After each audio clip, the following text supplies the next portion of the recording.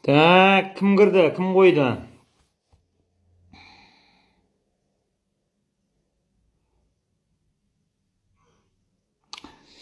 Бүгінгі эфирді Қанапия қызы Алтын ханымның құрметіне арнаймыз. Себебі ол өзінің рухани құндылыққа деген махаббатын ісімен дәлелдеді. Эфирге ең бірінші болып кірді. Күтіп отыр екен де осы аңдық басында.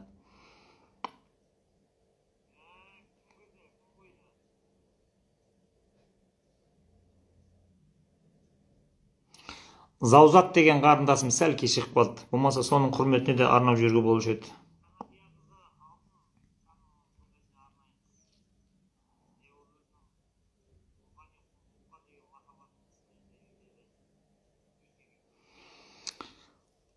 Мына америкалық ағайындардың пысығын қарасай сен. Калифорнияда тұратын бір американ қыз атын ақ толқын деп қазақша өзгертіп алып бізден қисса тыңдау үшін қазақша үйреніп енді біздің эфирге кіріп отырғанын қарасай сен. Ойпырмай ойпырмай осы америкада не жеп пысық болады осылар мен түсінбеймін.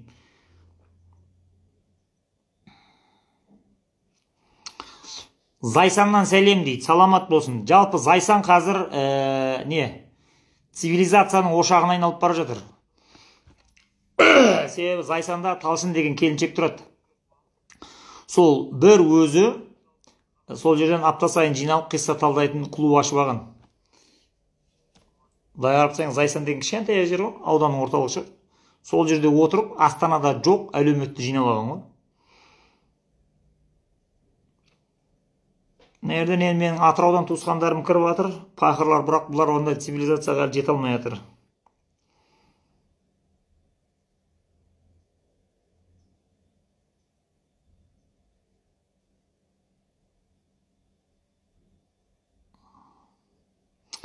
заузат шымкенттен хабарласты кітап аламын деп дейді сонда мен түсінбедім заузат бүгінге дейін ә, не қиссасул әмбияны оқымай жүре берген ба қалай ол өмір сүрген?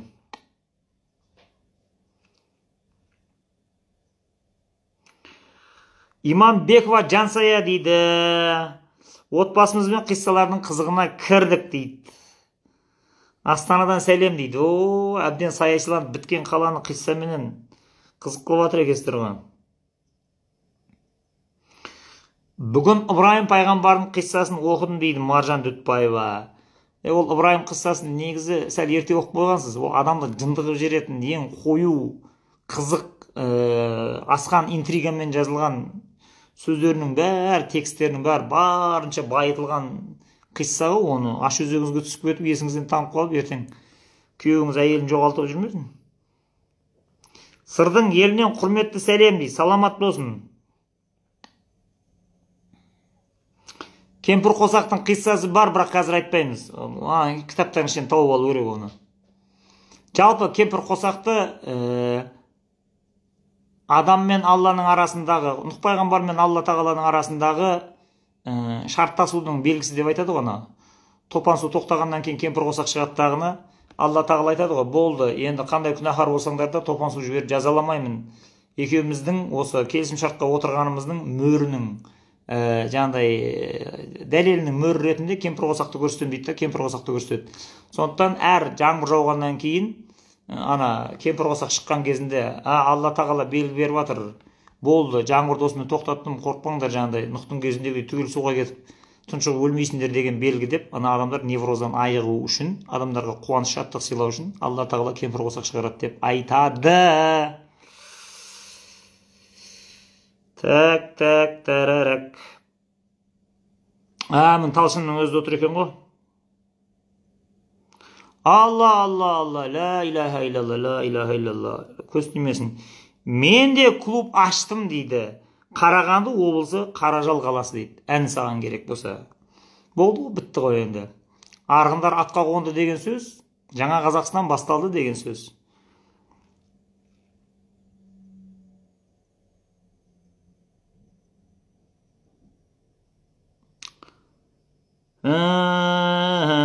так қарағанды күннен күнге көбейіп бара жатыр соған қарағанда сол менің қайын жұртым бір цивилизацияны бұрқ өткізейін деп тұр ау осы қарағандыдан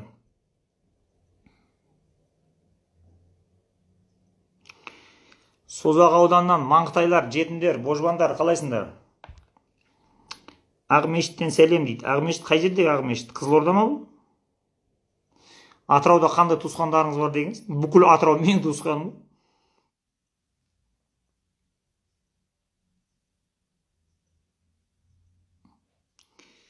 Сұрайын дегенім қандай күшті зікір бар? Иманды күшейту үшін қанша рет айтқан жөн дейді. Сіздерге ең ыңғайлысы ясауи мұрасы деген телеграм каналында сол жерде профессионал дәруіштердің қожа ахмет яссауидің хикметімен орындаған ара зікірі бар. Аудио сақталған сол жерде былай енді ә, смартфондар сәл нашарлау кезде басқан ғой енді оны ә, нокияның заманында. Бірақ болады соның өзін құлағыңа салып хикмет тыңдап отырып ху ху ху ху деп азанда кешке екі рет ә, жарты сағаттан отыршы. Соның өзі сені бір айда басқа жақтан бірақ шығарады.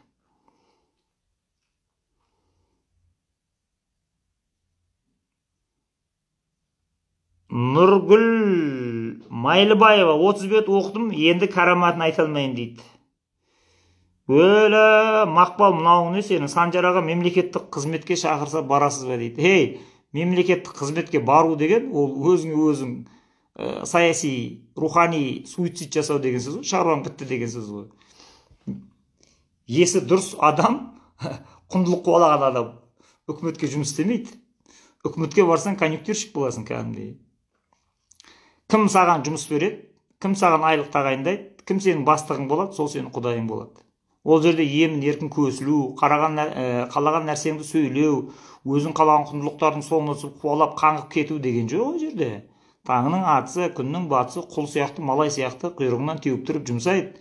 Өлдім деген кезде бір жүз елу жүз сексен мың теңге айлық беріп қояды. Сонымен жүресің. Не өлімге бара алмайсың не тойға бара алмайсың не қойға бара алмайсың не лекция жоқ бәрі. Так что ондай ондай жаман сөз айтпаңдар үкіметке жұмысқа тұрасың ба андай мындай деген. Ол мені инфаркт алып ертерек өліп қалсын демесеңдер екінші ондай ұсыныс айтпаңдар.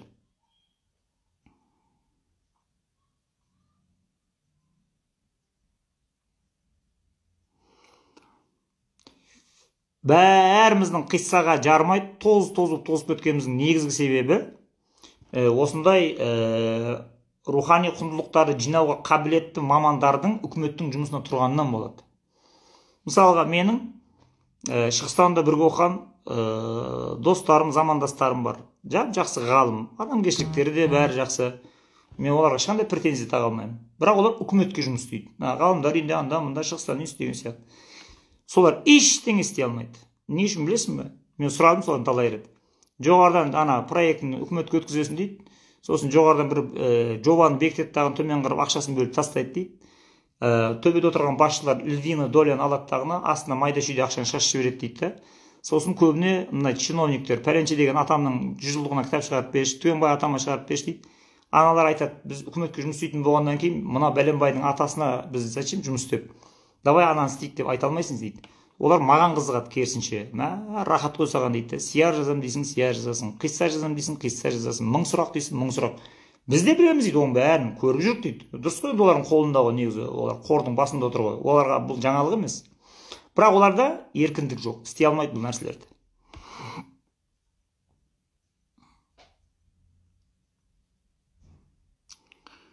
Арыстан сәлем дейді. Ох құлшығаштар кірді көкшетау. Е осы түптің түбі қазақстанның астанасы қарағандыға көшеді ау өйткені мына қарағандыдан көп кіріп жатыр да. Мына уже қисса әлеміне қай жерден көп адам кіреді цивилизация сол жерден шығатын әдеті ғой. Қарағанды озайын деп тұр енді.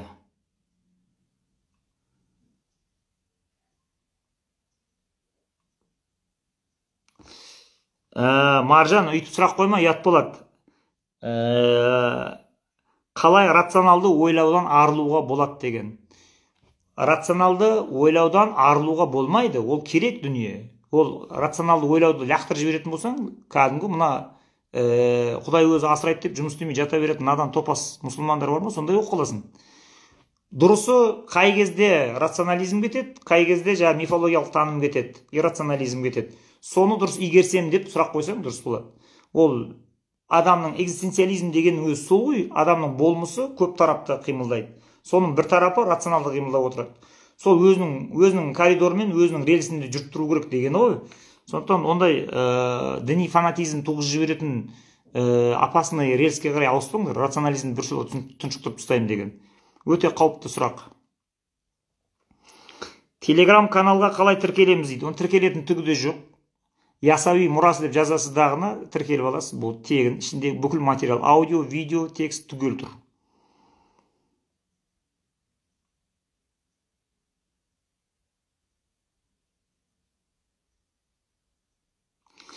телеграм канал кім? Жансая ақыры соғұрлым бос қойсыңдар ғой істейтін жұмыстарың жоқ декретте. Ясауи мұрасы кітап пәлен жерде сатылады бағасы мынанша телефон мынандай деп жазып отырсайшы әбден жалқау болып біттіңдер сендер ана.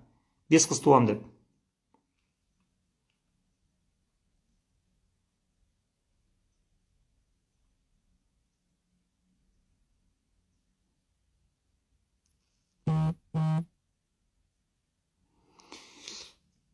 е мына айгүл деген рухани наркоманкадан бәле қалған емес зікірге зависим болып қалған қылқылдап күніге келеді да тұрады. Хикмет бар ма хикмет бар ма? Е оны өзі аптасына бір ақ рет айтады. Ол бір рет дайындау үшін олар кәдімгі репетиция жасайды. Олардың сабағы бар азаннан кешке дейін оқып жатқан оларды суббота күні ғана ол менің айқайыммен ұйғайыммен ойбайлатып ол бейшараларды ана жерден ауыз бекітіп өздері қиралаңдап зорға жүрген студенттер ғой олар. Соларды сабап сабап алып келіп отырғызып қоямын мен ана жерге. Отырыңдар мына халық хикмет айтпаса рухани шөлі күшейіп кетеді деп. Сондықтан аптасына бір рет хикмет тыңдағанға ырза болсаңызшы енді. Бәріміз үкіметтің жұмысындамыз ғой не істейміз дейді. Ештеңе де істемейсіздер. Сіздер үкіметтің жұмысында істей бересіздер. Әркімнің өзінің орны бар. Сіз үкіметтің жұмысында бізге қызмет қыласыз. Біз ісіміз сізге түсіп барған кезде біздің шаруамызды жайғап бересіздер. Ал біз үкіметке жұмыс істемейміз. Біздің есіл дертіміз дүниенің төрт бұрышына төрткүл бұрышына шашырап кеткен. Хикмет атаулының бәрін жиып теріп қазақ тіліне аударамыз да сізге инстаграм арқылы интернеттен тегін береміз. Сіз жұмысыңызды істеп келесіз дағыны кешке тоғызда инстаграм қосып қоясыз дағыны кайф болып хисса тыңдап хикмет тыңдап жатасыз. Сондықтан ештеңе де жоқ.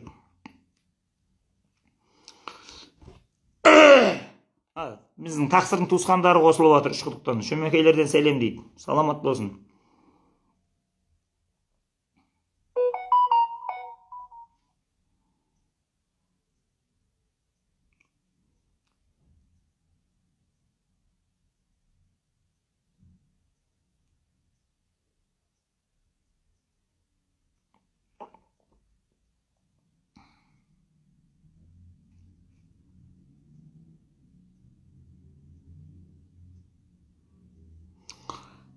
Қарағанды орыстанып кеткен емес пе дейді? Қаланың өзі орыстанған шығар енді. Бірақ енді анау айналасының бәрі қазақтар ғой. Енді күшейеді да қазақтар. Да даже теміртаудан қосылды міне.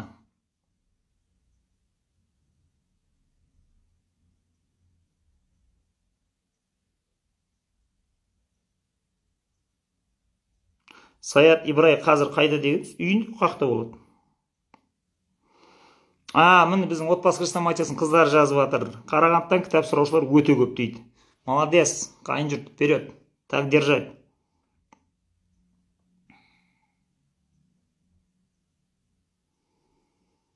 Жансая мынау сенің сіңлің екен. Сіргелі елбаймын дейді.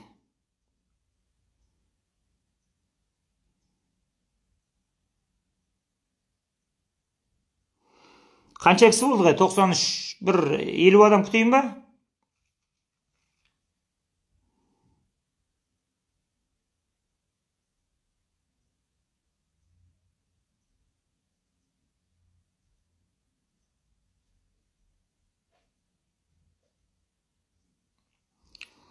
Кешегі эфир сақталмапты хикмет тыңдай алмай қалдым дейді. Сол үшін қандай жағдай болмасын тікелей эфирде отырып тыңдап алу керек. Оны қазір сақтап жатқан жоқпын. Себебі ана балдар ораза аш қиралаңдап әрең айтады бір сағат. Сондықтан олар өзі сапасына көңіл толмайды да кейін қарнымыз тойғаннан кейін аузымыз ашылғаннан кейін мощный қылып айтып береміз деп өшіртіп жатыр. А жансая жазып отырмыз ғой дейді. Бұдан былай мені сөйлете бермей жазыңдар мен бір ене болдым ғой сендерге. Бәрін айтып отыратын.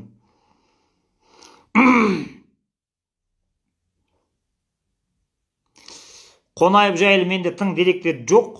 Себебі мен қонаев танушы ғалым емеспін. Оны арнайы оқып соңына түскен өзі мамандар болуы мүмкін тарихшы қонаевшылар.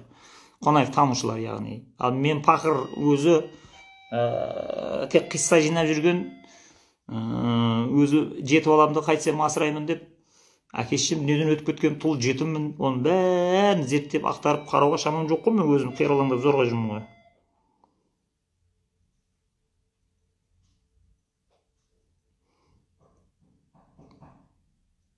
Мен қазір есікті ашайын. Зылиха келді.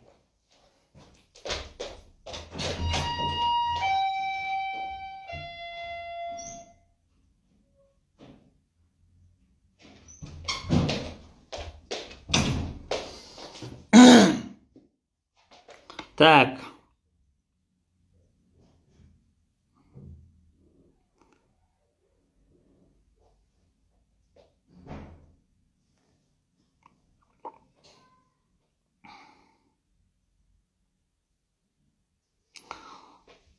мубашир деген сүйінші сұрау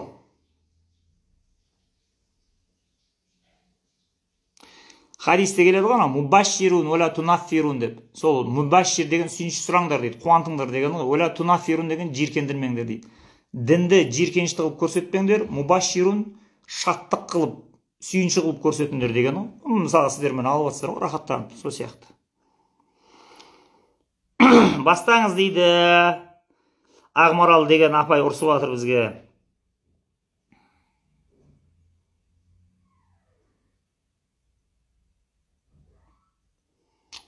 Үш жүзден асып кетіппіз ғой бастаймыз все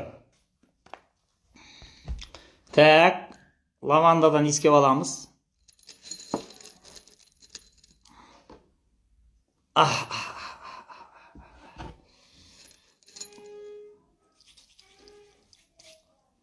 ух жанай жанай дүние ах. Былай қыламыз ә, жалпы менен қателік кетіпті. Қателік кеткен себебі мен елдің бәрін өзіміз сияқты көреді екенбіз. Біз енді ана бұрыннан жаңағы жиырма жылдан бері аңдығанымыз қисса аңдығанымыз құндылық болып соны жинап теріп жүре бергеннен кейін елдің бәрі тура біз сияқты қиссаны қабылдап тура біз сияқты тыңдайды деп ойлайды екенбіз. Сөйтсек мына соңғы әсіресе отыз жылда мына біздің автократ атамыздың ә, дін уағыздаушы дін уағызына саяси пропаганданы қосып таратушы ұялмағыр ұятсыздар.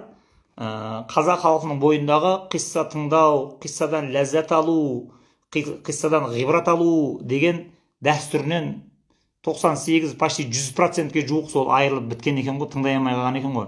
Уже қиссаны жаңағыдай ә, тыңдап отырса бір қайдағы жоқ бір үрейлерге басқа жаққа кіріп кете береді екен. Сондықтан мен ана жүсіп пен зылиханы келесі жыл басынан бастап қайтадан оқимын болмайды. Мен оны өткенде елдің бәрі біз сияқты түсініп отыр деп заулатып оқи бергенмін ғой.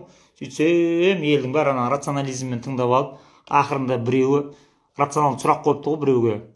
Сонда зылиха ана бірінші анау күйеуінен бала тапты ма таппады ма? Қалай ол жүсіпке барғанда туа қалды деп.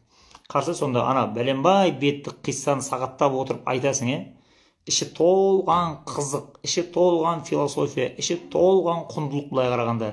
Соншама жүз беттік нәрсені оқыған кезде бұл бірінші күйеуінен бала туды ма тумады ма соны ойлап кәдімгі невроз болып психотерапияға кеткен ғой. Сондай болмайтын нәрсені ойлап ә, невроз болып қала беретін адамдардың невроздан айықтыру үшін біз енді бұрынғыдай сатырлатып желдіртіп оқымаймыз. Аз аздан шоколадик қылып оқимыз. Жақсы ма? Енді өткенде бір ә, біздің осы жерде отырған бір апайымыз ә, мына нұрдың бастауын оқып отқан кезде бір сөйлемді оқып кәдімгі невроз құлаған ғой. Ол не үшін құлаған? Себебі мен мына жерін оқығанмын заманның қыспағынан ғапылдыққа бой алдырған мұхаммедтің үмбеті көп болады. Оларға мұхаммедтің шапағатшы нығметін нәсіп етем. Себебі, себебі мен әділетті құдаймын. Бірақ шарт сол. Олар пайғамбарға салауат айтсын. Мұхаммедті өзінің туған ата анасынан да артық жақсы көретін дәрежеге жетсін.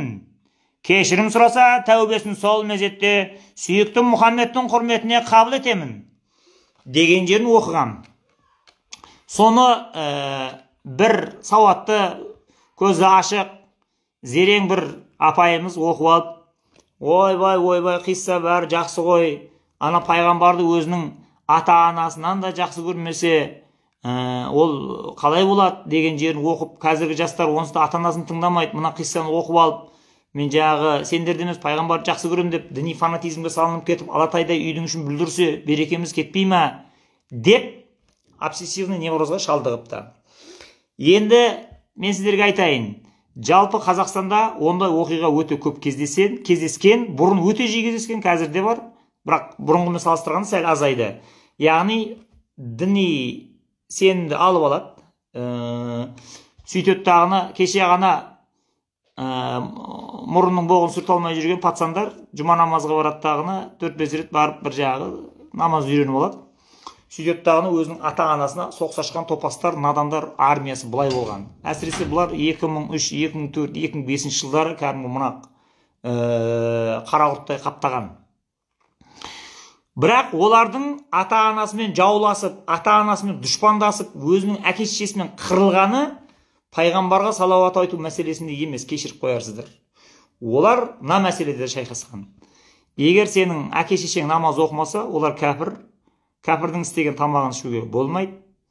Ә, біз тек мұсылмандар істеген таза тамақ жеуіміз керек деп содан ол бізге мынадан адамдар хабарласқан. Е мынау менің істеген тамағымды жиырма жыл бойы жеп келді дағыны енді барып төрт рет жұма намазға қатысып келіп еді. Енді менің ішкен тамағымды ішпей отыр. Неге десем сен намаз оқымайсың сенің тамағың арам пәлен пәшін деп соны қырылып жатырмыз мен өзім сырдың кезінде комсомол болғанмын одан коммунист болғанмын мен енді былай әртүрлі салада жұмыс істеген адаммын. Мен ондай дінге құлшылық ғибадат дегенге жоқпын. Бірақ құдайға шүкір аузымыздан әйтеуір ә, жатарда лә илlallah деп жатамыз. Бар мұсылманшылығымызды үйренген осы әке шешемізден біз өзімізді кәпір деп есептемейміз біз өзімізді мұсылманбыз деп санаймыз қазақтың бүкіл салт дәстүрін ұстанамыз. Бірақ білмеймін мына балам мені не үшін олай деп кәпір деп жатқанына деп ә, олар жылайтын тұғын ата аналары сондықтан ә, сіздер шатаспаңыздар мына жерде бұл ә, жаңағыдай пайғамбарға салауат айтыңдар сендер сол пайғамбарға деген махаббаттарың ашылмайынша ана аллаға деген ең түпкі ғайби мұтлаққа қарай абсолюттік болмысқа қарай сендердің махаббаттарың ә, ашылуы өте қиын болады күрделі болады мүмкін болмайды кәміл иман болмайды деп айтатын нәрсе ол дінде бекітілген шариғатта бекітілген ол жаңа періштелерге салауат айтыңдар деп бұйыратыны ә, ол аяттармен келген нәрсе. Сондықтан ол құранның ішінде үлкен құранның аяттарымен бекітілген шариғатта бекітілген нәрсені өйтіп сен қиссада өзгертуге оны алып тастауға ешқандай да құқың жоқ. Ол солай тұрады просто философиясын сен дұрыс түсіндіруге е ол былай ғой міне мынаны айтып жатыр деп көзін ашуға тырысасың. Егер үйтпейтін болсаң онда иә. Ал енді ә, кеше мына жерде айтты ғой олар жаңағы пайғамбарға өте көп салауат айтсын оны осылай қылсын осылай қылсын бәрі себебі пайғамбар нұрынан жаралды деп. Оқыдық қой иә. Сөйттік дағыны айтып жіберіңіздерші біз кеше періштелердің жаралуын оқыдық па оқымадық па өзім шатасып кеттім ғой құрсын ә, біз дұрыс оқымадық оны. Біз бүгін періштелердің жаралуын оқимыз. Так енді сіздерге жалған құндылықтан құтылып кәдімгі өзі ішкі жан сарайыңызға шынымен де алла тағаланың қалаған алла тағаланың ей құлым мынау ғой негізгі саған керегі. Сен мына нұрға мына жарыққа мына сәулеге жабыссайшы дейтін настоящий кәдімгі оригинал. Тәңірлік әлемнен қайнап піскен ә, құндылықты береміз. Енді ол жаңа жалған құндылықтан құтылып шынайы құндылыққа келген кезде кәдімгі ішкі дүниең рахаттанып сала береді. Қазір пайғамбарға салауат айтсын деді ғой иә? Енді мына жерде мен түсінемін. Неше түрлі адамдар мысалы больницада істейді полицияда істейді министерствода істейді банкте істейді азаннан кешке дейін. Мысалы бала туып отырған әйелдердің бәрі ене бағады ата бағады бай бағады бала бағады қанша мың миллион шаруасы бар.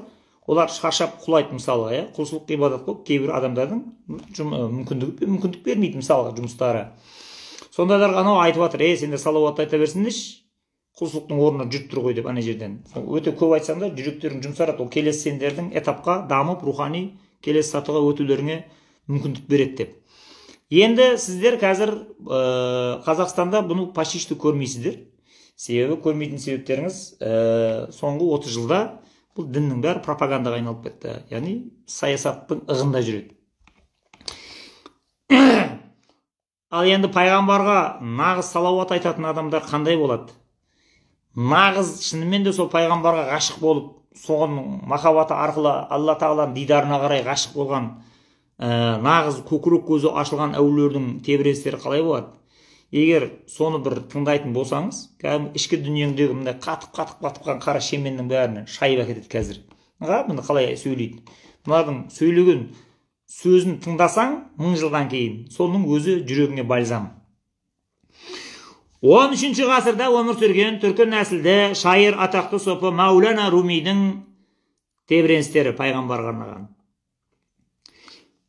Расулымды әспеттейтін тілімнің қуаты мен шын шабыты жеткенше көңілімнің бұлт ашылып өнегелі насихаты қатқан сеңді сөккенше адамзаттың бақыты үшін надандықтың пердесін серпіп тұрды мұхаммед мұстафа мінсіз нұрмен дүниеге келгенде жер жүзіне хақтың торғын шуағы есіп желпіп тұрды дейді. Оның көңілінде жаратушының жамалынан басқа қалау болмаған. Міне руханият кетті сендерге. Пайғамбарға еліктеу деген не пайғамбардың сүннеті деген не деген кезде негізгі фокусқа алынатын мәселе осы. Оның көңілінде жаратқанның жамалынан басқа қалау болмаған дейді. Яғни құдайдың дидарын көрсем құдайдың дидарының нұрына бір ұшырасам деген арман ғана оларға мотивация береді. Басқа мотивацияның бәрі жалған олар үшін. Бір аллаға пәк махаббатыммен үздіксіз тахлил тасбих арнаған. Оның киелі есімін тәурат зәбур инжілде сүйіншіледі барлық нәби құштар болып рақымның иесі мұхаммедті көру бақыты маған маған да бұйырсын деп тіледі. Күллі пайғамбардың жүрегіне қуаныш пен шаттық шапағы орнады. Барлығы мұхаммедке ынтықтығын жасырмай салауат пен сәлемдерін жолдады. Уа пайғамбарлардың сұлтаны! Күнге өшкен жарғараттай жалақордан өзіңді тығып жасырма! Яғни сен өзіңнің болмысыңды бізден жасырма біз саған салауат айтқан кезде бізге кері байланысқа шық бізге ә, жаңағы берекетіңнен төк дегені ғой. Лебізіңді тау суындай толғай бергін шоқтай өшіп басылма. Өйткені сен иләһи уахидың шырағын жандырдың. Жоғалып кеткен иман қазынасының көзін ашып бар қылдың. Сенің шұғылаң болмаса күндіздің өзі түнге айналар еді дейді. Қарашы қандай әдемі теңеу көріп отыр. Сенің шұғылаң болмаса күндіздің өзі қара түнге айналады дейді. Міне қазақстанда отырмыз күннің шыққанынан не пайда?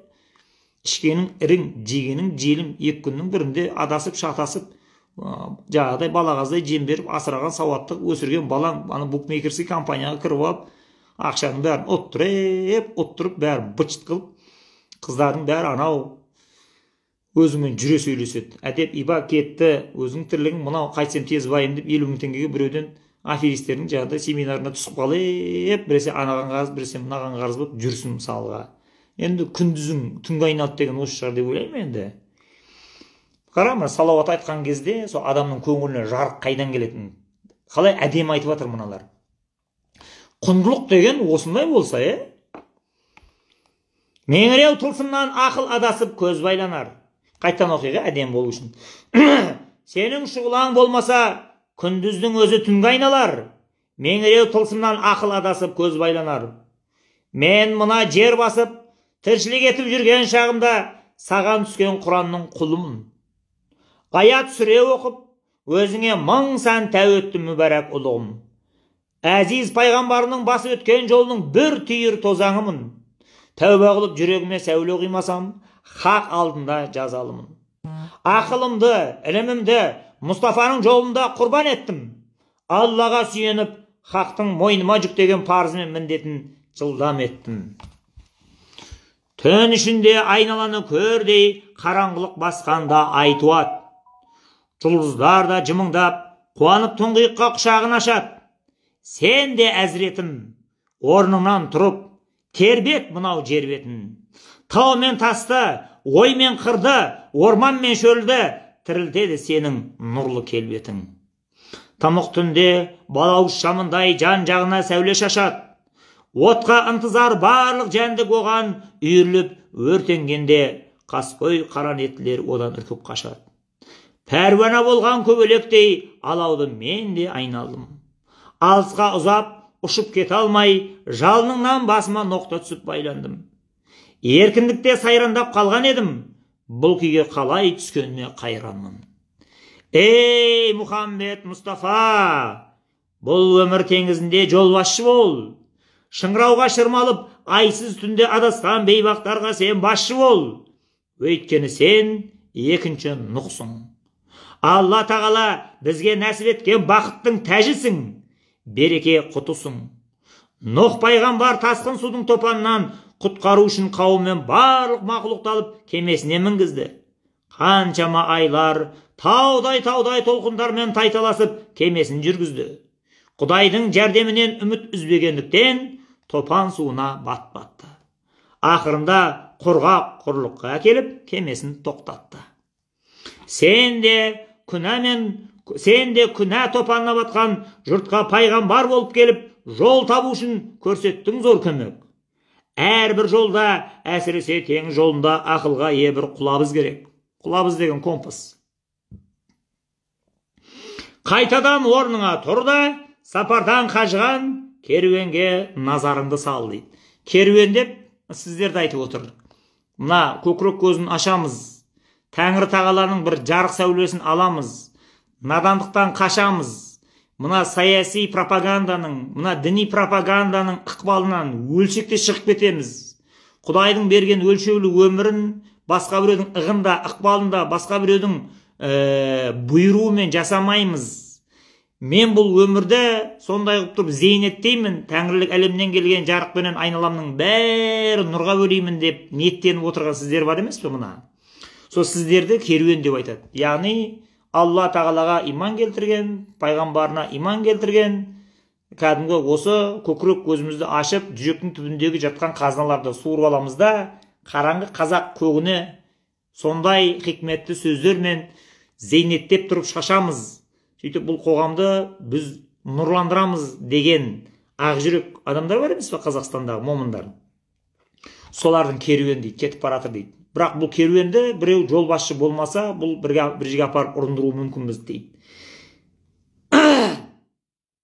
Сондықтан осылай тереңірек тереңірек өзіңе қатысты оқысаң қызықты болады.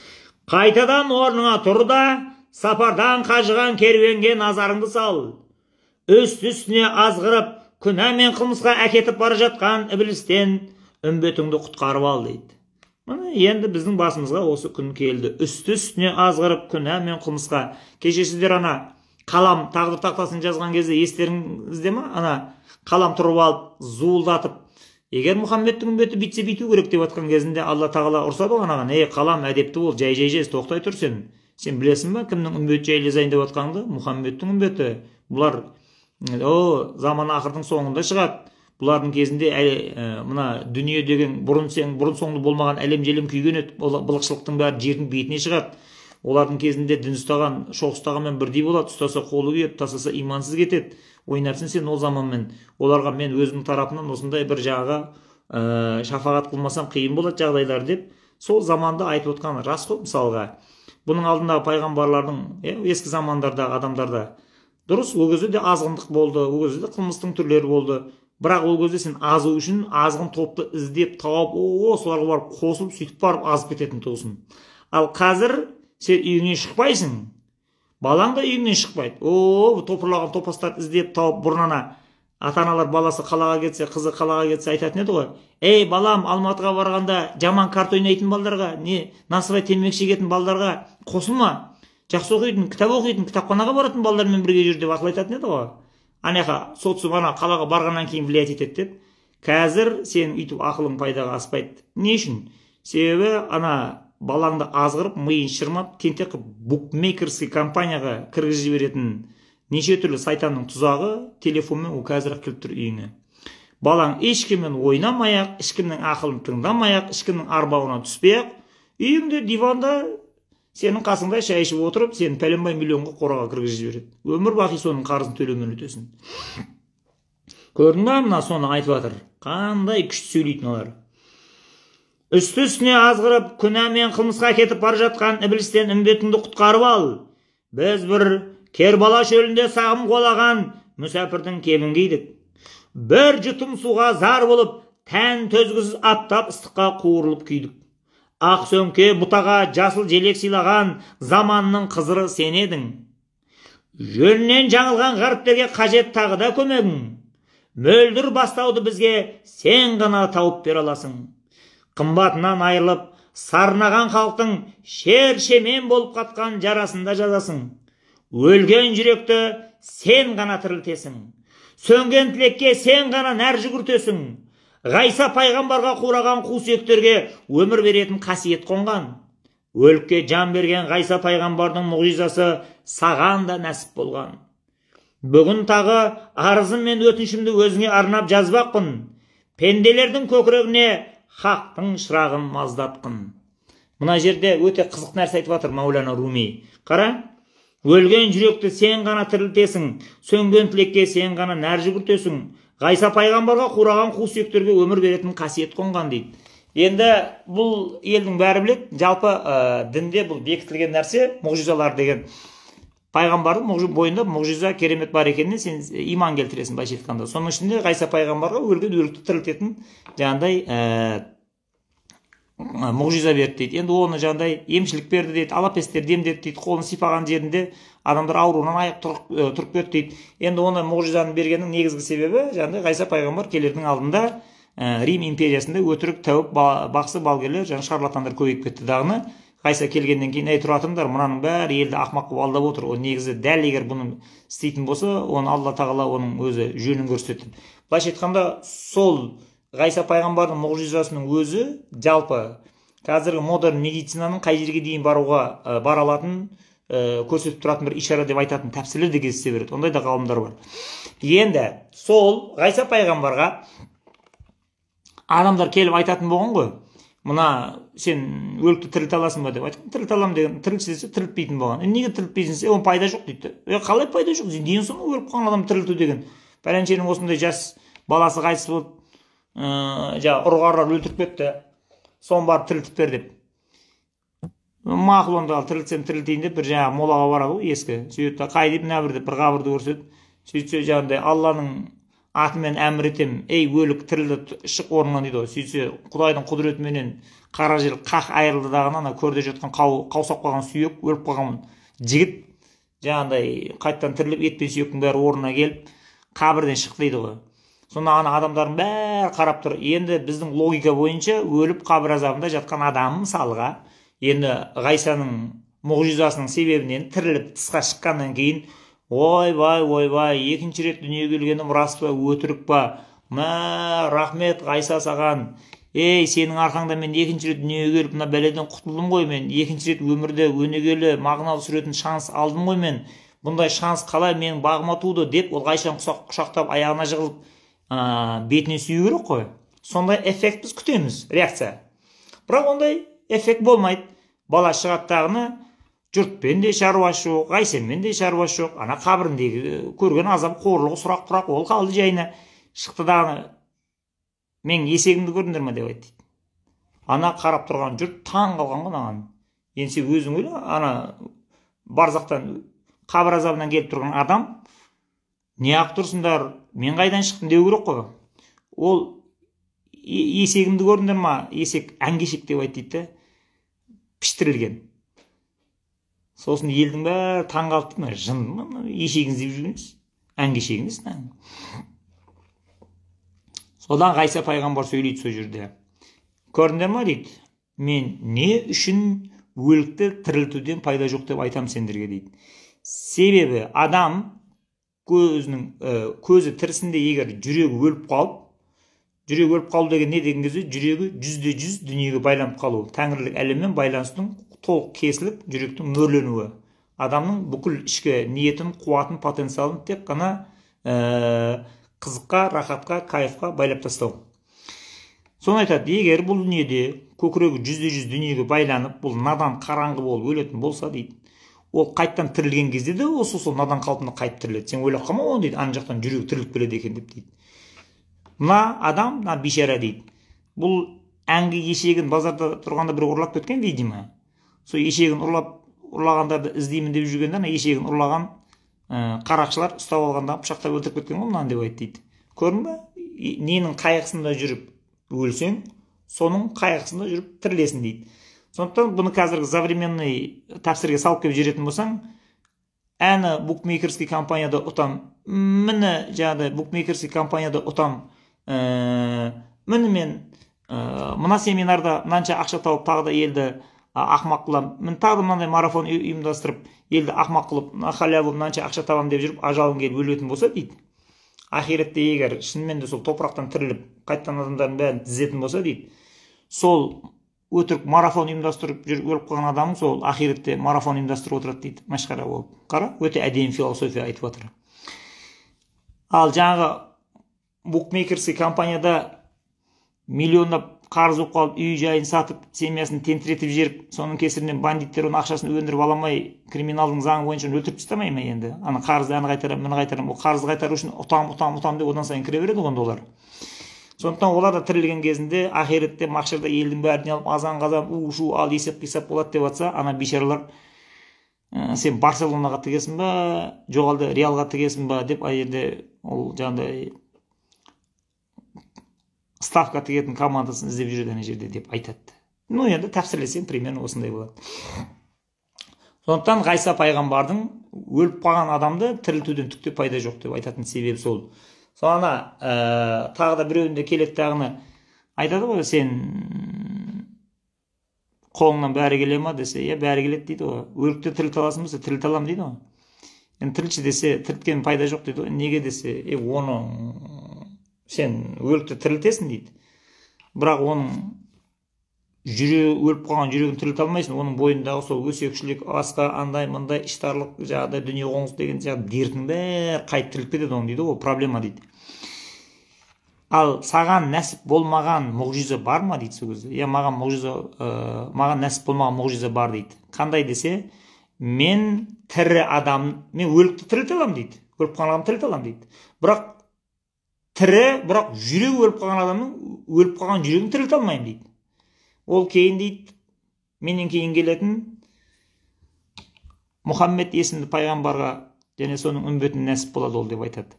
Сондықтан мына біздегі қожа ахмет яссауидің сіздер әр сенбі күні біздің дәруіштер шығып хикмет айтқан кезде ху хай ху хай хай хай деп отырады ғой жан, жан жүректі хай зікірін айтың достар деп сол ана хайды айтқан кезінде хай деген алланың мәңгі тірі деген есімі ғой. Алланың тежелли есімдерінің біреуі яғни осы дүниеге сол тірлікті көрсететін бір сәулесі. Сол хай деген есімнің сәулесі келіп ана жүректі ұрған кезінде жүректің қара тоты бар ішінің бәрі дерт басып кеткен ол жерде ә, біздің бәріміздің басымызға бәле болған нәрсе ол жалған понт жасау өзіңді өтірік бақытты қылып көрсету сосын іштарлықпен ә, біреумен дүние жарыстыратын ауруымыз енді ол біздің бәрімізге жұғып кетті. Жаңағы ә, бөтен жаңағыдай алыс курстасың класстасың тұрмақ өзіңнің ағайын бірге туған туысқандарыңның біреуінің баласы нишқа түсіпті ә, шетелде грант жеңіп алыпты англияға барып оқиды екен деген успехтарын естісең ішің тарылып мазаң қашып сол жерде біртүрлі болып кетіп ә, іштарлығы шектен шығып кеткен келіншектер ішіп отқан шайына қақалып қалып кәдімгідей өңешінен ас өтпей қалады түнімен дөңбекшіп ұйықтай алмай сол күншілдік дертінің кесірінен. Көрдің? Енді соның бәрінен бұлар қалай айырылады деген кезде қожа ахмет яссауидің хикметіне барасың сол жерде. Басқа жолың жоқ. Жан жүректі хай зікірін айтың достар. Дейсің хай хай ху хай ху хай ху ху хай деп отырып соны тіріліп кетеді ана жерде. сондықтан айтатын себептері сол мына жерде. Ғайса пайғамбарға өлікті тірілтетін мұғжиза бергенінен ол одан көп аса бір эффект болған жоқ дейді. Одан гөрі хазіреті мұхаммед алейхисалату уассаламға және оның үмбетіне өліп қалған жүректі тірілтетін осындай құдіретті мұғжизаны хай зікірін берді дейді. Сонан бұлардың үмбеті енді ұстатпайды деп айтады. Конечно енді оған сенің сенімің танымың бекісе соның қызықсаң соның соңына түссең ол бірдеңе болады. Ал енді ол күмән шүмәнға шырматылып қалып мына әңгімені тыңдап алғаннан кейін жаңағы ана мысырда оқып келген молда достарыңа барып пәленше кеше ана шүңірек көз би деп айтты сол рас па өтірік па деп бәрін тексеріп отыра беретін болсаң ол қияметке дейін бітпейтін әңгіме. Так мынаны ары қарап оқи берейін десем өте көп екен. Былай болсын бұның жалғасын мынаның тебіреністің жалғасын ертең оқиын иә бүгін неден қиссадан кішкентай оқиық. Так ананы оқимыз деп. Жойбай қиссасыл әмбияны оқып жатыр дейді. Қиссасыл әмбияға жете алмай жатырмыз қиссасыл әмбияны ағылшындар хай деп амандасады дейді. А оңбағандар. Қожа ахмет яссауидің хикметін оқып алып хай зікірін бізден ұрлаған екен ғой иә ағылшындар қарашы қандай прагматик консерваторлар. Сразу өзін сап еткізіп алып алғанға бәсе соны өзім ойлап жүрмін мен бұлар қалай хай деп амандасады деп. Хайдың қазақшаға ең көп тараған түрін айтайын ба сіздерге? Кішкентай балалар қуалаған кезде аллахай деп айқайлайды ғой. Сол алла хай деген сөз ғой. Алла тірі деген. Ана кішкентай балалардың аузына қазақтар зікір салып қойған ғой ишандар қуанған кезде аллахай деп айқайлаңдар. Алла тірі деп. Сол кезде жүректерің тірі болады. Күншілдік дүниеқоңыздық іштарлық. Жаңағыдай тәкаппарлық деген сияқты рухани кеселдерден ада боласыңдар деп үйретіп қойған шығар ана. Кейіннен оны біз ұмытып қалдық та аллахай деген бір жаңағыдай бір одағай сөз сияқты күткен ғой. Ал негізі зікір ғой алақай деген. Так.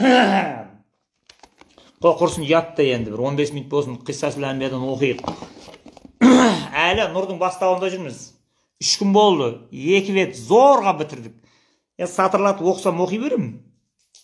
Бірақ өйтіп оқи берейін десем халық мына өз бетінше мынаның түсініп алатын мынаның ішіндегі хикметті әңгімелерді суырып алатын ә, әлі нелері қабілеттері ә, жеткілікті дәрежеде жетілмеген екен. Сондықтан жетекке аламыз. Періштелердің жаралуы.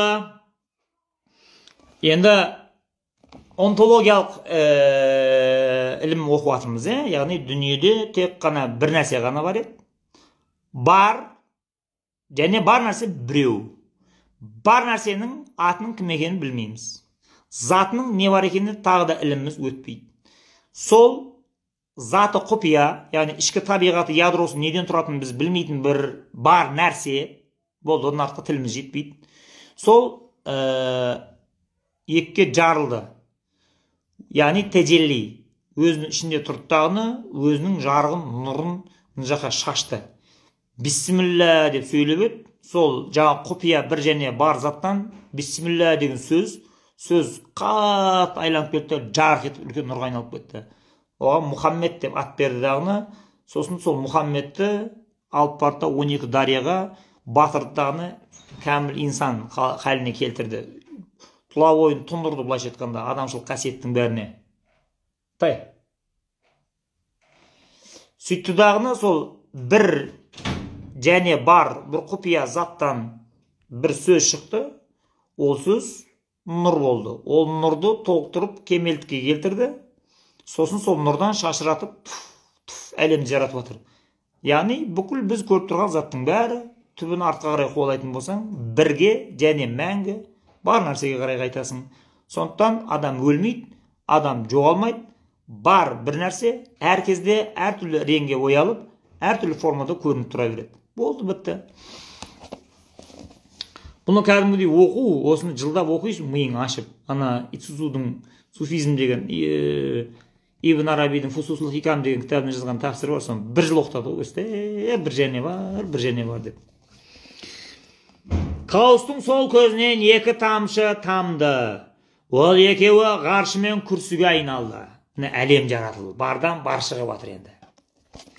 Мүбарактың оң құлағынан екі тамшы үзіліп барып жебірейіл мен мәкәйіл періштеге айналып шыға келді сол құлағынан үзіліп түскен екі тамшыдан ысрапыл мен әзірейіл періштені сомдады самайынан аққан тамшылардың миллиондаған періште қалықтап шықты бір тамшыдан миғраж түнін жаратып оған барша қасиет пен киені дартты біреуінен қанатты пырақтарды бейнелеп ақырдың соңында менің пайғамбарым мұхаммед маған адам бейнесінде қонаққа келеді.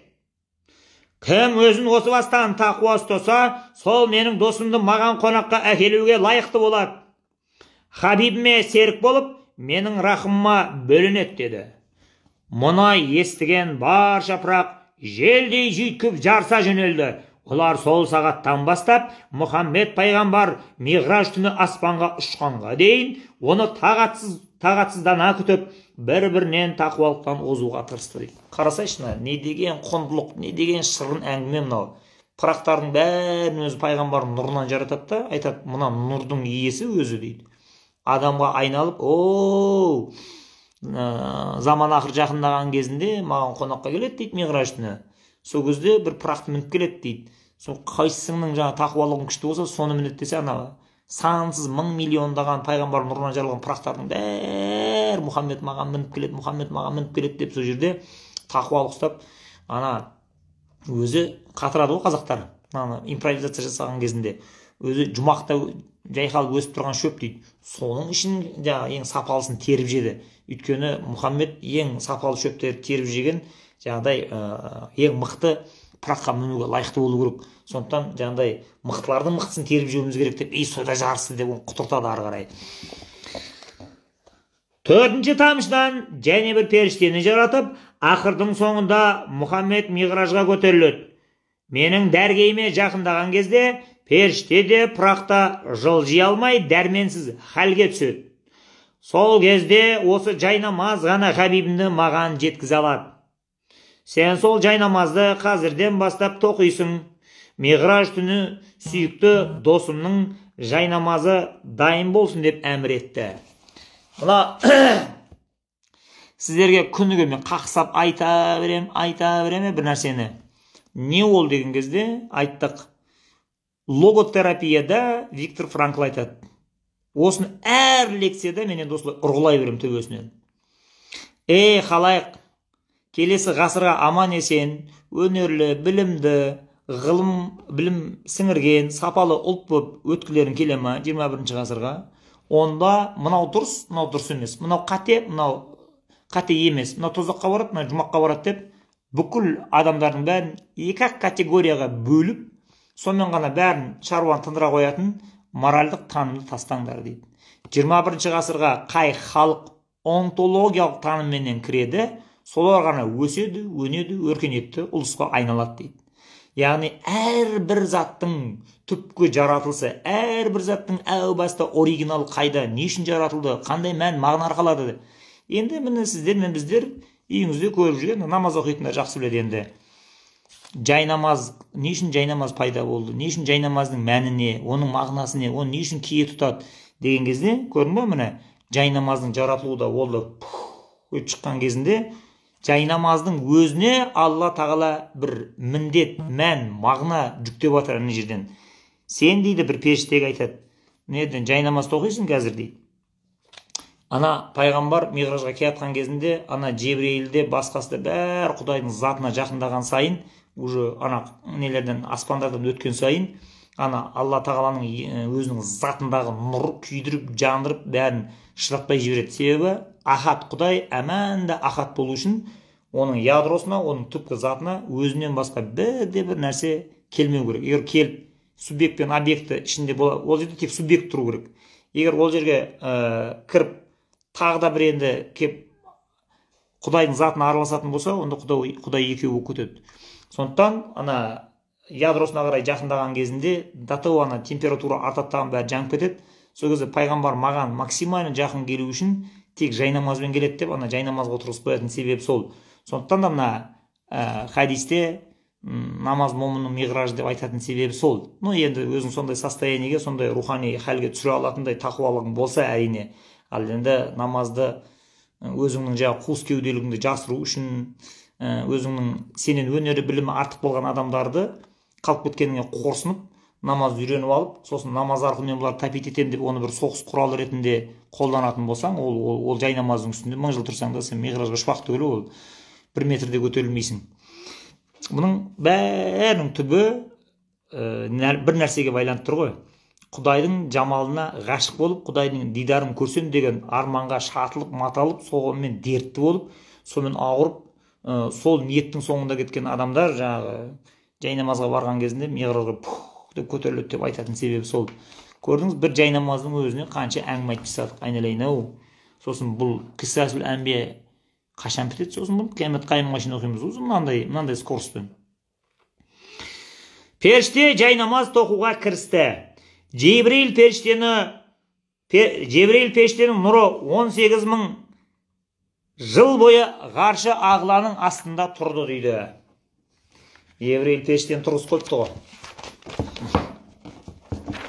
нашар оқып келген болған баяғыда тақтаның алдына тұрғызып қоятын сол сияқты. Күллі періште оның құзырына қарады. Сонда жебірейіл өзін барша жаратылыстан артықпын деп ойлады. Анан қара жебірейілдің өзі көрдің ба ана? Пайғамбардан адамнан олардың дәрежесін сәл төмендеу екенін көрсету үшін оқиғаны қалай өрбітеді? Даже жебірейілдің өзіне бітті дейді. Уа тәңірім!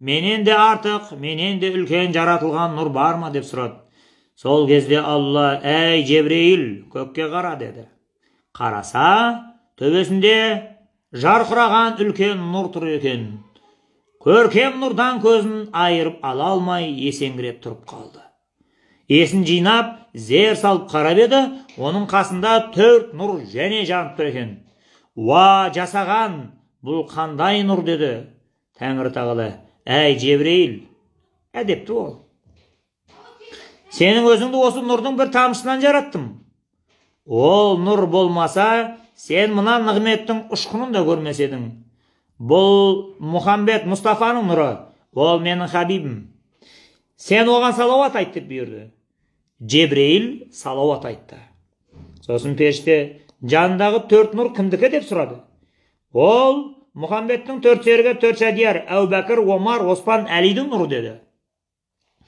уа тәңірім бұл төртеуінің нұры басқалардан артық па деді жаббар хақ мен төрт шадиярдың бәсін басқалардан артық еттім кім бұларды өзіне дос санаса маған да дос болады кім бұларды дұшпан көрсе менімен қас болады бұлардың достарын да дос көрген құлдарымды жұмаққа кіргіземін деді сол кезде жебірейіл тәубасына келіп уа құдайым мен әдепсіз іс қылдым.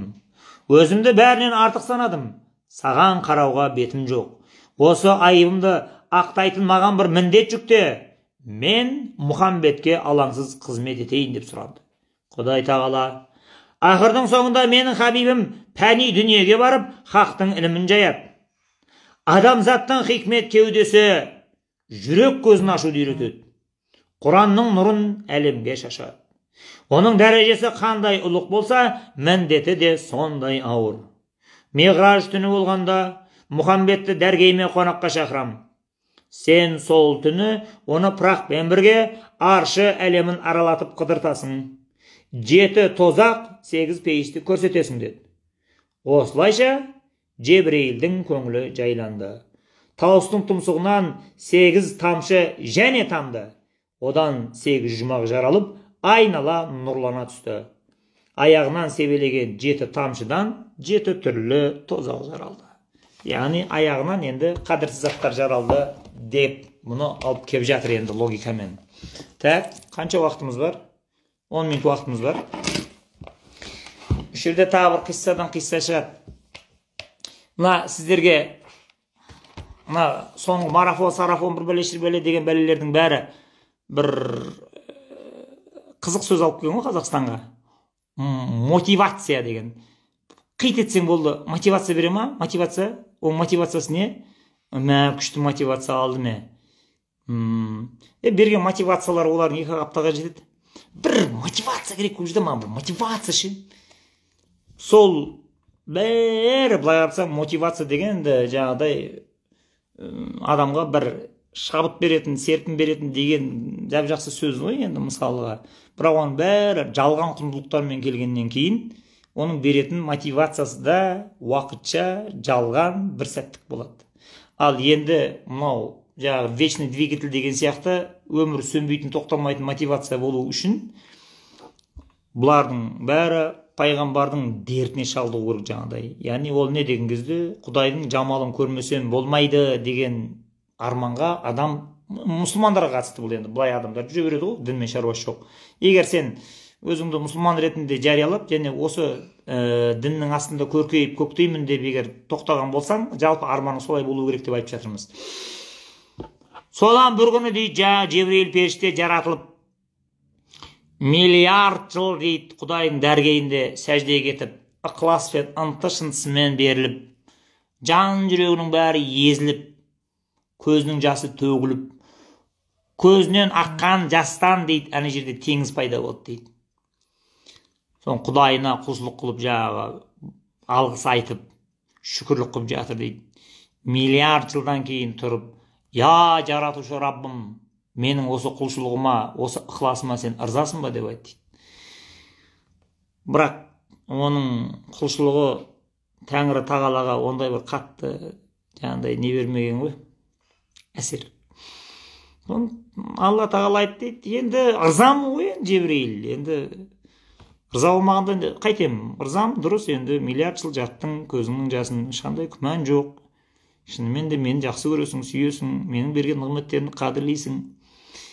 Бірақ осы сенің мына миллиард жыл жатып жасаған құлшылығың мына мұхаммедтің үмбетінің асығыс үсігіс жасаған жаңағыдай құлшылық ғибадатына жетпейді деп айтты. Тіпті солардың сол азанда тұрып оқитын екі бас намазына да сол сондай әсерлі емес та деп айтты дейді. Сосын жебірейіл періште таң қалды дейді. Я алла ол сен әділетті барлық нәрсенің парқына баратын барлық нәрсені өзінің құнына ә, ақысына сәйкес беретін әділетті қарақылды қақ жарған құдай емессің ба? Қалай ол сен? деп айтты. Жердің бетіндегі анау асығыс үсігіс ықылассыз жүрдім бардым құлшылық қылып жүрген адамның жаңағы екі үш минуттық құлшылық ғибадатын менің мына миллиард жылдық ықыласыммен сен артық қыласың оныкін бұл не хикмет деп айтты дейді.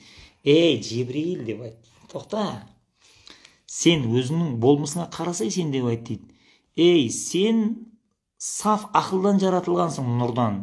Сенде жыныс жоқ. Жыныс жоқ деген не либидо жоқ. Яғни ойбай жаңағы біздің еркектердің ауруы ғой енді жаңағыдай көзіне бет әлпетіне құдай әдемі сурет салған бір көрікті келіншек қыз көрсе соның бетіне үңіліп сұқтанып қарамайынша мазасы қашып невроз болады ғой еркектер мысалға не сол либидоның несінен көңілшек әйелдер де жаңағыдай жүсіп сияқты симпатичный жігіт көрсе бір сұқтанып қарай алмай мысалға мазасы қашуы мүмкін енді білмеймін ғой енді әйелдердің психологиясын мен еркек болғаннан кейін еркектер жағынан сөйлеп жатырмын қыздар өздері жазсын иә бізде де ондай болады деген сияқты. Соны айтты дейді жебірелге сенде либидо жоқ қой жыныс жоқ қой деп айтты дейді сенде асқазан жоқ тамақ ішпейсің ауыз ашатын уақыт болды ма сәресі қайда анау қайда не қайда? Сенде үй жоқ погода деген жоқ жаурау ыстықтау деген проблема жоқ. Сен көбеймейсің сенде әйелің жоқ фрикшн жасап күніге құлағыңның құрыш етін жейтін анау бітіп жатыр қант таусылып жатыр бірдеңе сенің ақ туысқандарыңның жаңағы тойы бітпейді екен. Өткенде ғана сенің шешеңе бердік. Бұл жолы тағы да сенің мамаң сұрап жатыр деген сияқты. Сенің енең жоқ. Қатының жоқ. Қайынбикелерің жоқ. Сенімен дүние таластырып қаның ішетін. Проблема жоқ қой сенде. Тағы да миллиард жыл жат десе жата бересің сен деп айтты дейді. Ей сен мұхаммедтің үмбетіне қарасай сен деп айтты дейді.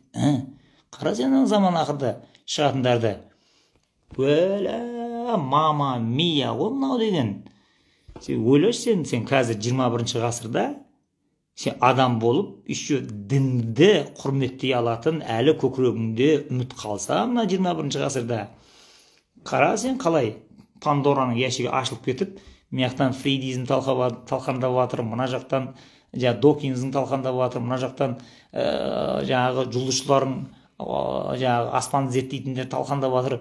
Сенің иманыңды дініңді быт шығарып талқандап жатыр талқандап мына жақтан салафиттер былықтырып жатыр ана жақтан үкімет қысып жатыр не деген мынандай былықшылық информация деген не деген көп ютубқа кіріп қалсаң уәлә мені тыңда жұмаққа барасың мені тыңда жұмаққа барасың деп аузын жаппай қақсап тұрған тізілген уағызшылар қайсысы дұрыс қайсысы бұрыс кімнің етегіне е невроз ғой оның бәрі миыңа салмақ қой.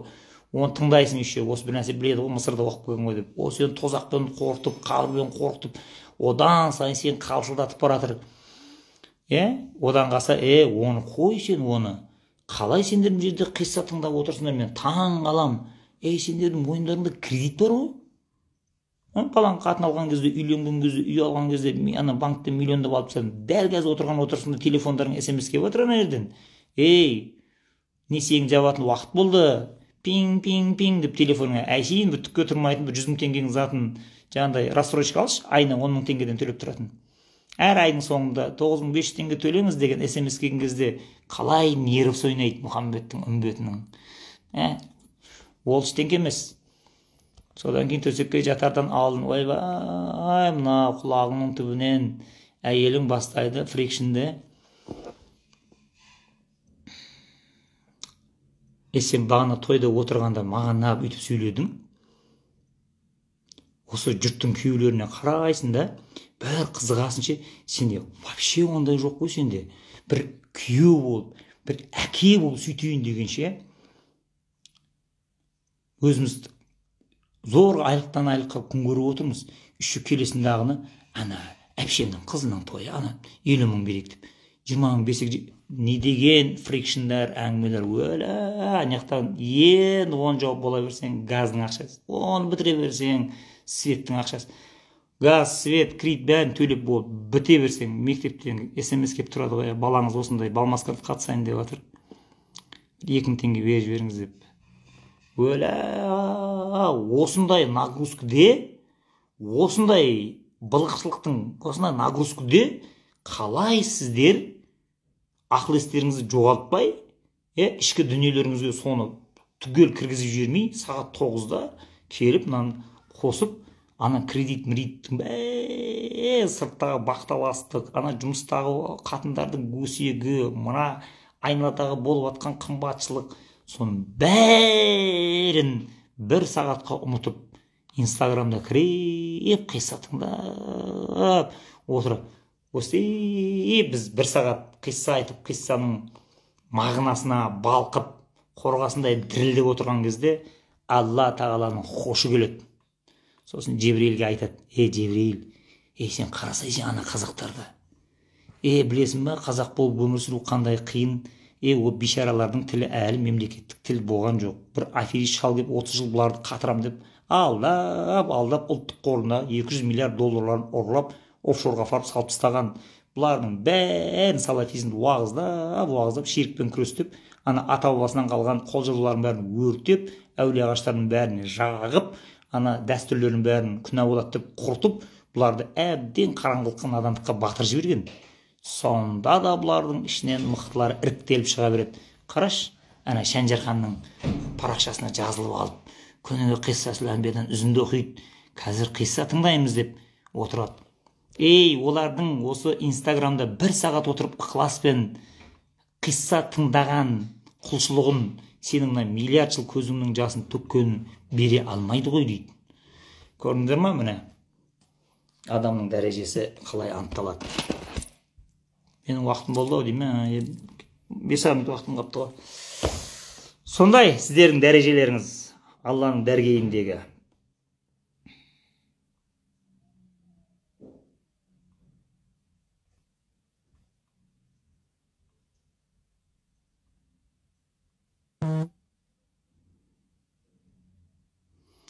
жебірейіл періште зар илеп жатқан шығар бүйтіп періште болғанша 21 ғасырдың 2022 жылы қазақ болып жаратылып астана ма я қарағанды ма қаласында инстаграмнан қисса тыңдап отыратын мұсылман болғанында ғой.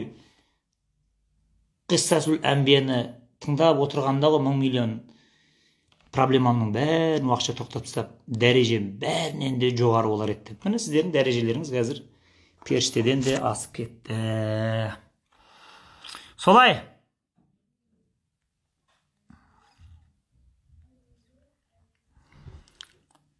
Так так так. Болды осымен бүгінге жетеді. Ертең қалғанын оқимыз.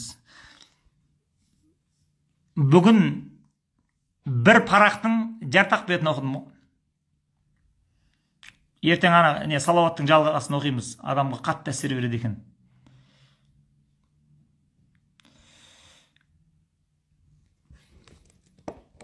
Осы ғибраттарды осы қиссаның ішіндегі мәнді мағынаны өнегелі әңгімені тыңдап құлағыңа құйып көкірегіңе түйіп отырған ол да құлшылыққа жатады негізінде.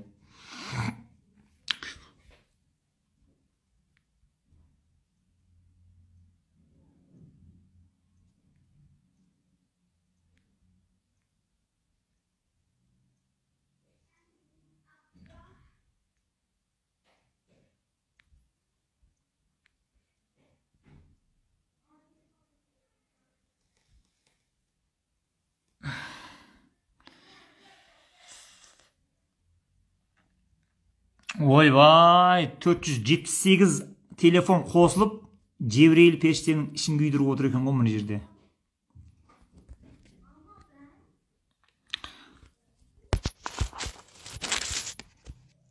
Жалпы сіздер осындай ә, мына қиссасыл әмбияны мына қиссаларды мен айтқан кезде тыңдаған кезде мынау большевиктер құрған үкімет бар ғой ссср деген ленин сталин. Солардың бізге қандай деңгейде соққы бергенін қандай деңгейде біз есеңгіреткенін соған қарап білесің. Осы кітаптардың бәрін солар оңбағандар құртқан. Ал ә, екінші неврозымыз мынау ол соңғы мына жиырма бес жылда ә, ана оңбағандар болды ғой бізге салафизмді ә, жан жақтан насихаттаған. Солардың кесірінде болды осы нәрселердің бәрі жайына қалды.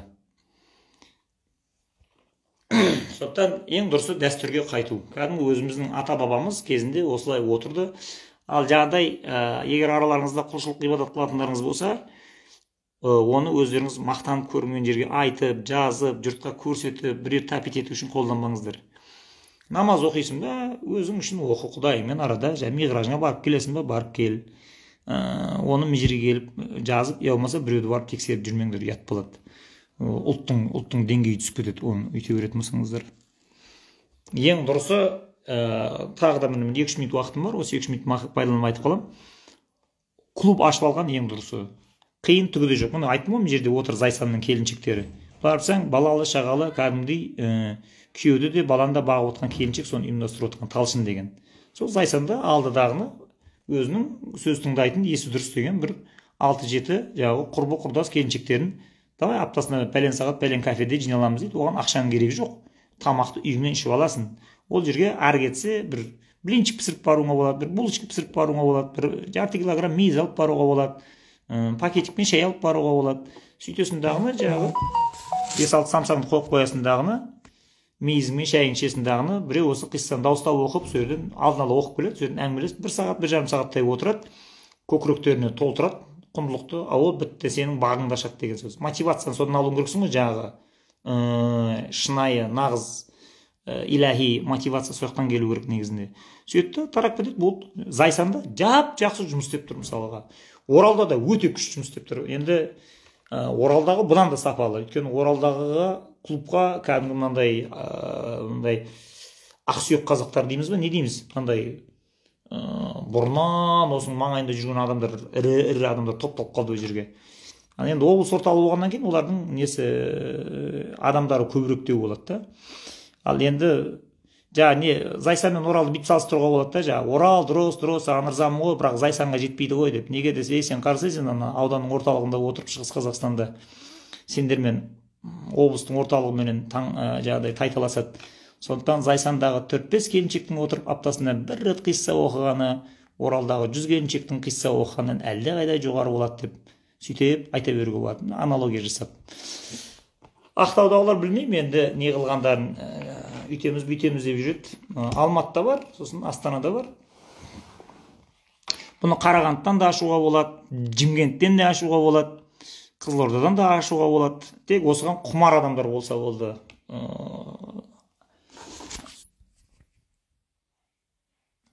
Так а жаңағы екінші кітабым оқыған сияр шәріп. Мен көрсете салайын иә егер сіздер егер бұл кітап үйлеріңізде жоқ болатын болса онда жағдайыңыз қиын деген сөз. Мынау жаңағы мауляна рубидің ә, пайғамбарға жолдаған салауаттары бар ма тебіреністері? Соны осыдан. Жаңа мен салауатты оқыған кезде румидің сіздер тебіреніп шайқатылып кеттіңіздер ғой ана сөздің құнарынан. Біріншіден автордың өзі бұны шын жүрегіменен сондай илхаммен жазғандықтан ол сондай әсерлі болады. Екіншіден мына мәтінді аударған адам профессионал. Бұл маулана румидің ә, мына текстін кім аударған білесіздер ма бұны менің туған құдамның ә, туған екінші күйеу баласы ол менің туған үлкен ұлымның ә, туған бажасы сосын менің туған немеремнің шешесінің туған жездесі аударған осыны мұхит төлеген деген жігіт. Мынандай қылып жасаған ғой. Мен таң қалдым мынаны қалай аударып шықты? Шын мойындау керек енді осы жерде. Дәл маған осы текстті аудар десе мен бүйтіп аудара алмас едім. Күшім жетпес еді деп ойлаймын. Өте үлкен потенциалмен келу керек та мынаған. Ал енді сіздердің қазіргі мына дінге көңілдеріңіз толмайтын себебі сол. Яғни жаңағыдай моралистерді тыңдап жүрсіздер сіздер. Яғни мынау дұрыс мынау дұрыс емес. Анау тозаққа барды мынау жұмаққа барды анау күнә болады мынау сауап болады деп екі категориямен айдай беретін. Сондай моралист ә, молдаларды тыңдап тыңдап мына сіздердің қанағат алмайтындарыңыз өмірге құштар болмайтын себептеріңіз сол. Мынандай оригинал құндылықтарды құймайды айтпайды отыра береді. Жүреді ғой фейсбукта айланып. Тек қана дәрет алу кіші дәретті қалай алу керек үлкен дәретті қалай алу керек. Соған бір сағат ана мысырда он он бес жыл ма он екі жыл ма оқып келген молда уағыз айтады қазақшалап. Оны үйту керек оны барған кезде бүйту керек бір тамшы шығады оны бүйтіп тұрып сүртіп алу керек та оны бүйтіп қалу керек ол тамшы бүйтіп кетсе бүйтіп қалу керек оны сумен жуған кезде бүйтіп саусағыңды апарасың да сосын бүйте бергенде бүйтіп қалады мен түсінбеймін мен жиырма бірінші ғасырдың адамына туалетке шығуды үйретудің не қажеті бар болды ғой бітті уже енді ол кесекті бүйтіп пайдаланасың қағазды бүйтіп пайдаланасың деген о жаңағы қағаз дефицит жаңағы кесектің өзі жоқ құм далада жүрген кезінде караванда жүргендерге үйреткен шығар деп ойлаймын енді дәрет бүйтіп алдым да бүйтіп алдым да жолда жүргенде не керек бар енді қазіргі заман? Қой жақсы. Сау болыңыздар.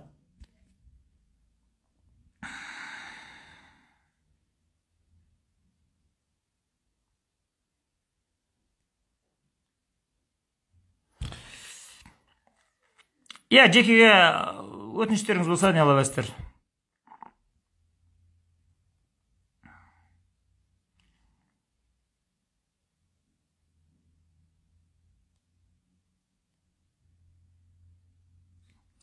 ей жоқ үкіметтің үкіметтің жұмысына бару деген ол тындың деген сөз ғой. Ол жерде интригадан көз ашпайсың ғой ол жерде. Түсінбеймін сіздерді бар ғой. Қайта мына инстаграм рахат емес па сіздерге? Осы жерде отырып алып емін еркін көсілетін емін еркін ойлайтын ойын бүкпесіз ашық айта алатын адамнан инстаграмнан тыңдап отырған жақсы емес не істейсіздер оны үкімет деген ол интрига ол. Ол жерде ол таза бір ұлтшылдар жиналған үкімет болса мақұл ол ана бәрі. Жартысы ресей жетпіс процент ресейге қарап ұлт тұрған маргинал орыс тілді қазақтар ғой отырғандар. Сондықтан инстаграм аман болсын. Давай баса беріңдер көріскенше.